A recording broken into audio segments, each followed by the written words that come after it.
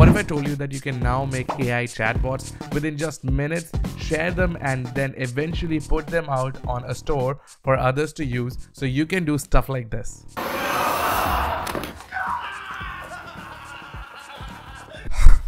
AI news never stops coming. Anyway, let's get into it. So, this past week, OpenAI had their very first dev day and they announced a bunch of things. But one of the most exciting announcements, according to me, was the introduction of GPTs. These GPTs are essentially tailored versions of ChatGPT that perform a specific task. Welcome back to the channel, everyone, where we talk about AI and technology to what it means and its implications, to how you can simplify your life, to even monetize AI. So if you want to follow more content like this, just hit the subscribe button. Alright, so let's talk a bit more about these GPTs. So early in the year, we saw a bunch of folks create AI agents with the OpenAI APIs and try it out on the internet. Fun times and I can't believe that it was just 8 or 9 months ago. Anywho, these GPTs are essentially AI agents or chatbots that are tailored versions of ChatGPT for a specific purpose. However, the difference is now you can build them within ChatGPT instead of making them using APIs without writing any code.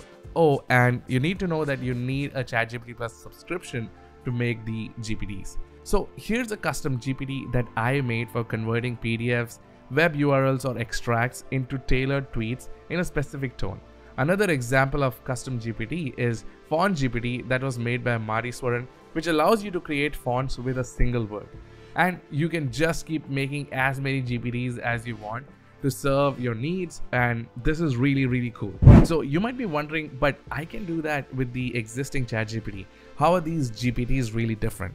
Well, what makes these GPTs different is that while ChatGPT relies on the knowledge it's trained on and relies on that or a web search to generate responses, GPTs can be customized to almost anything with a specific instruction set. Well, you can also expand its knowledge by specifically adding data and you can have GPT know this extra knowledge specific to what you want it to know. Now, Taylor Peterson on Twitter, who I follow, expanded on this idea in one of her tweets where she shared her experience with GPTs, where she took a bunch of her specific knowledge as training data and then made this GPT that she calls the Sauce Curator which is her newsletter agent. She also talks about how this is so powerful for content creators and internet entrepreneurs.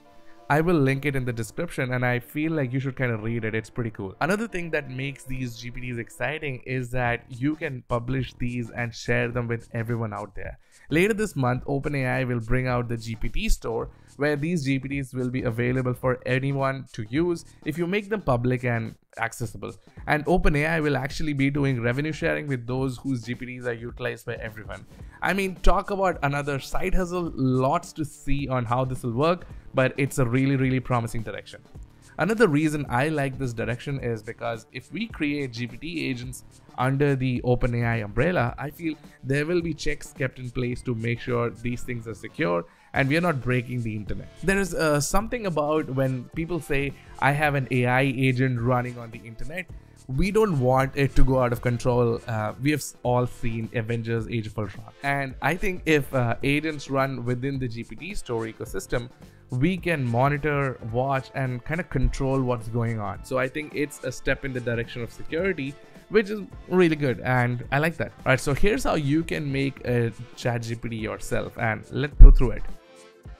Alright, so we'll go click on create a GPT and then start giving it instruction on what we need. So here I'm I'm making a friendly wingman that kind of gives us some advice on relationships and helps us with understanding the other person in a relationship. So we're gonna go through this. We're gonna give it some instructions. So it's coming up with the name. It gave us this name called Wingman Wally, which I like, but I wanted to kind of change it. So here uh, it came up with another name, Wingman Willie. I don't really like it. It kind of came up with this new profile pic. So I can just go in and kind of configure and change the name to Wingman Bro, which is a name that I kind of like. Now we're going to keep giving it some instructions around, you know, what kind of profile pic we want. So it's going to ask us, okay, these are some different styles that it can generate for us. So I'm going to say, okay, generate a style in the, you know, pixel art uh, character. So, it, so it's going to generate this style, which I kind of like. And we're gonna you know stick with it and ask it to kind of apply that style. So that's pretty good. We like it. We're gonna continue. Now i'm gonna say okay consider this for you know early stage relationship guidance as well as uh, for folks who are you know in ongoing relationships or even married. So that is the purview in which the guidance kind of falls in. So i'm giving it some intelligence giving it some specific information and it's kind of updating the model now. And now that it's understood that it's going to ask us hey what kind of tone or you know things that you should not be doing. So i'm going to say anything that requires a doctor's advice make sure that you kind of refer to the doctor and don't give advice on medical matters. Now we're going to test it out and i'm going to say what is a good idea for a date and it kind of gave us this result that looks pretty good. Let's continue. All right so now i'm going to say okay be encouraging and make sure that you are not pushy. Just give your advice and be a friend or be a bro all right so this looks pretty good. And now i'm bringing in some custom data in where i'm going to say okay i want you to be aware of some extra data point. And this is specific to what i want you to do. This is you know uh, data around how you can improve communication relationship. And this is some data for that. And also some specific exercises to improve communication. So whenever somebody asks this question this can actually go back and lean on that extra information that I provided. So this is really cool because I am actually now increasing the knowledge of ChatGPT by creating this GPT with external information and knowledge. This is really good and the chatbot is ready and now I can actually publish it out to anyone so anyone with a link can actually access it. Pretty cool.